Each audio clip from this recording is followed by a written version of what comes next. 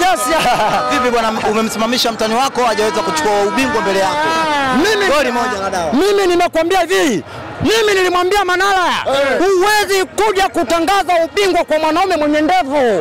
Unaona, TFF. Niliwaambia kama kuna uchaguzi wenu kule TFF, endeleeni na uchaguzi wenu.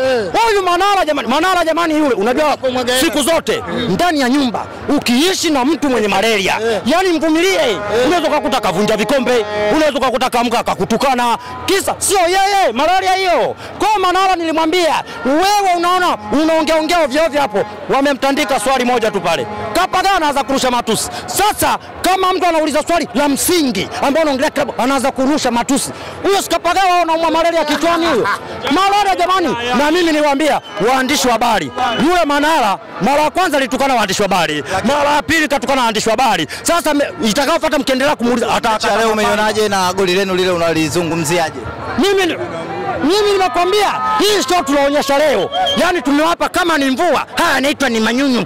Sasa tunakwenda kudondosha mvua ya mawe Kigoma, na sasa bora hapa tumemtandika kwa sababu anaelekea kwake hapo taratibu anajua atafika. Sasa uliza mwenyewe, Kigoma nenda kumtandikia Kigoma, sio ataelekea Burundi kama unavyomwona. Nilimtandikaga Mwanza, nilimtandikaga Zanzibar kule, baada ya kutaka haja ateremkia bandarimbo, anateremka mwanaume kakodi ngalao lela kupepea na upepo kateremka Bunju kule. No, kateremka Bunju kule. Sasa kama kama alikuja na ngalawa ndio akateremka Bunju, sasa hiyo hiyo Kigoma unafikia ataelekea wapi?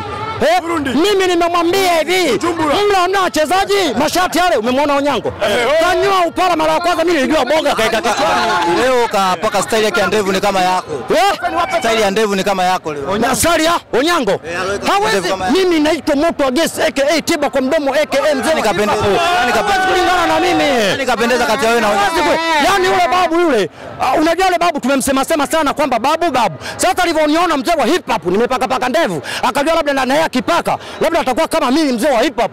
Yaani pale ndo kama mzee. Unaona? yani, na ule upara alivyonyoa, mimi mara kwanza kajitisha boga, kumbe kichwa. Lakini utopolo, utopolo ulisema kwamba hautakuja uwanjani, uliapia kabisa tulivyofanya mahojiano, lakini leo nakuona na unakuwa na furaha. ukisema hata mkishinda mshindi ushindi utambue.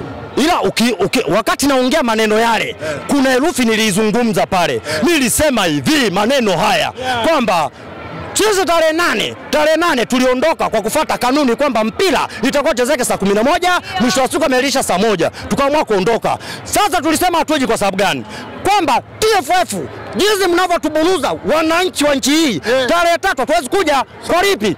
Kwanza tukipeleka kesa mtusikilize, na sita tatu tuwasikilize, hatuji. Kwanza mnatufungia wasemaji wetu wa Yanga hamu, mpaka sasa hamjawaachia. Kwa hiyo kama mtusikilize na hilo hatuji.